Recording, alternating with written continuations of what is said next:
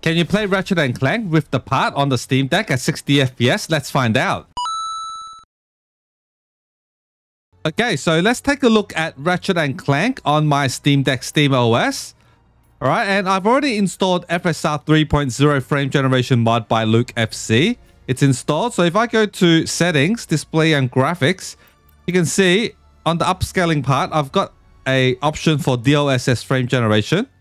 Before this was grayed out, but since I've got the mod on, I could toggle this on and upscale method, I'm going to keep it at FSR 2.2, which in fact is 3.0 since I've got the mod installed. And then on the graphics, I'm going to keep it on the preset low because I want maximum like frames. That's why I'm using this mod. And yeah, this game doesn't run too well like natively. I remember when it first like came out on the PC and I um installed it on my Steam Deck. It was probably running at like 20-ish frames at best. And I remember like introducing this game to my son. But I thought this was more of a kiddie game. So um, he played a bit of it. He played more than me, and he's like, and then he gave up. He said it was too like stuttery. So that's why, that's why, um, yeah, I remember it wasn't running too well. But now we get like 60 FPS, so it's pretty cool. I never expected to get 60 FPS on the Steam Deck with this game. I don't think it's a really good port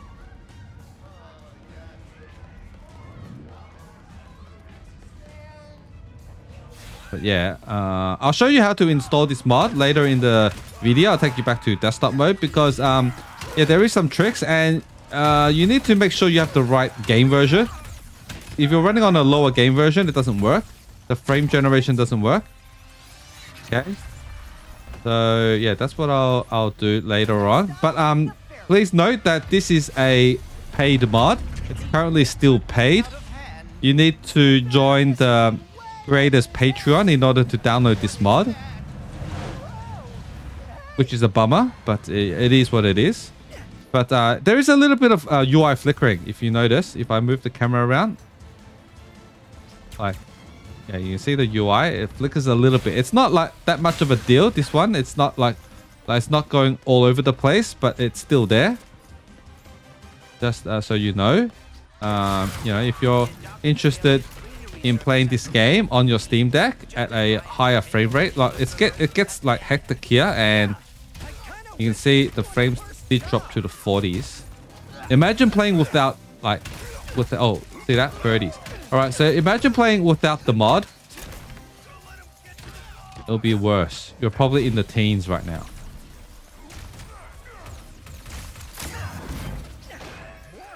Because this game like is kind of fast paced and you know a lot of things happen on screen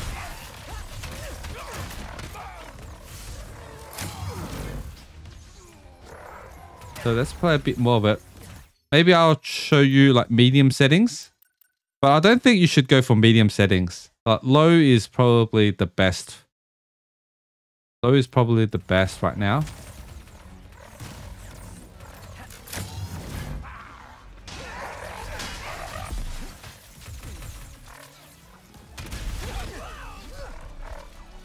I think you want more frames if you're turning on this mod. So that's why I suggest low. Yeah, I'm going to change it back to low.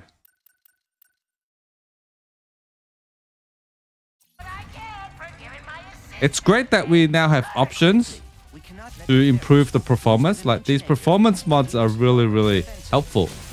Like for games that like it works on. You've got an option if you want graphics now you don't need to turn the like turn the mod on. But if you want performance, you know, you're on the go, you want performance, you know, you don't really care much about the graphics.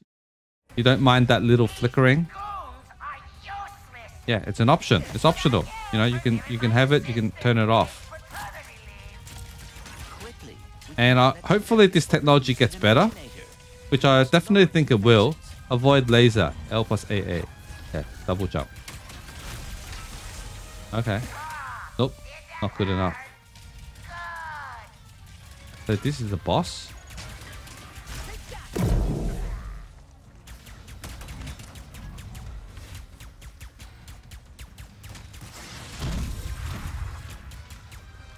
Are so unpleasant. Okay, I don't think I'm to spend my time beating this boss. So maybe I'll take you back to desktop mode and I'll show you how to install this. All right, so I'll see you back in desktop mode.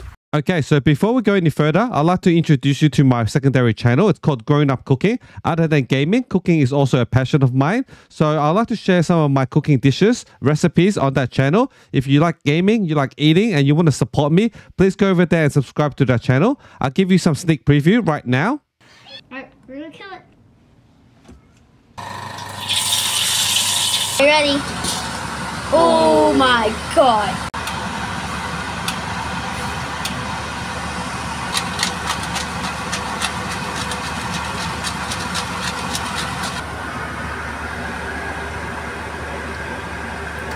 Oh my god.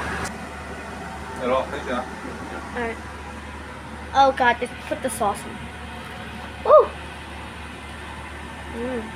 So did you enjoy that? Watch the full video at Grown Up Cooking. Links in the description.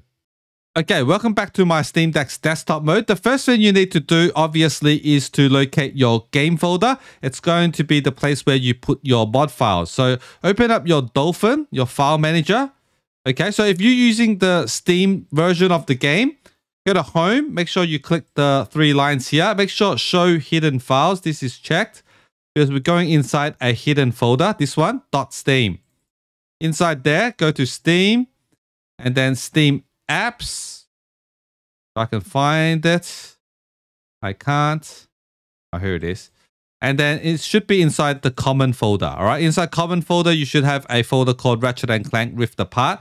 For me, I'm using a non-Steam version and I put the file, the folder in home games and then Ratchet and Clank Rift Apart. All right. You can see here, the version I'm using is 1.831.0.0. This is not the version I'm actually using. All right. Because I updated the version, but I didn't update the, I didn't update the folder name. All right. I downloaded this version. This latest version for me is Ratchet and Clank Rift Apart update version 1.922.0.0. All right, so I already updated the game. All right, this version doesn't work.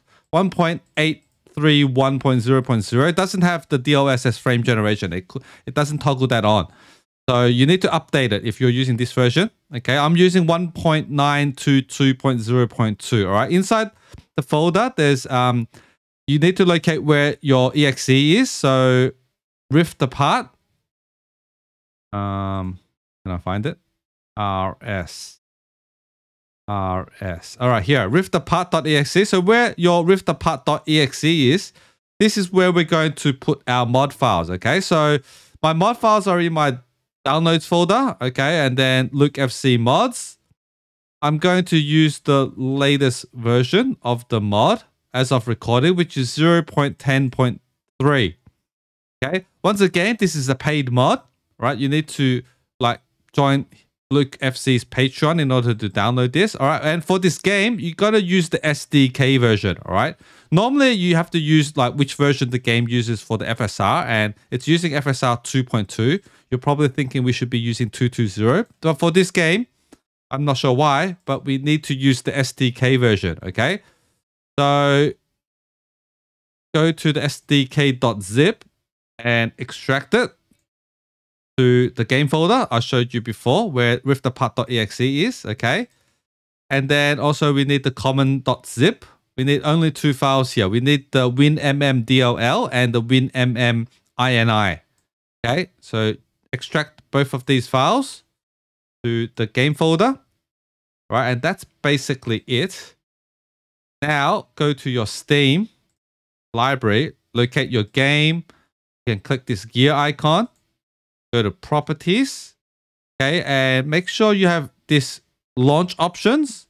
All right, wine DLL, wine DLL overrides equals um, quotation marks win mm equals n comma b close the quotation marks space percentage command percentage and then you need to add space hyphen flex reflex markers all right so you need to add this as well so i'll put this in the description so you can just copy and paste it so you don't have to type it in case you you know have a typo or, or something like that All right, and once that's done, you're done. Just click play and you should see the mod window popping up, trying to hook up the game and the mod.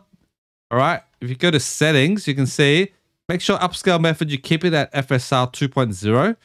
Since the mod is activated, it's going to change it to 3.0. And then here, DLSS frame generation, you can see we can toggle this on and off. That's the most important part. You need to toggle DLSS frame generation. All right, and that's it. That's basically it. So I hope this video helped you out. If it did, please leave a like and subscribe to the channel if you haven't already. And I'll see you guys in the next one. Later.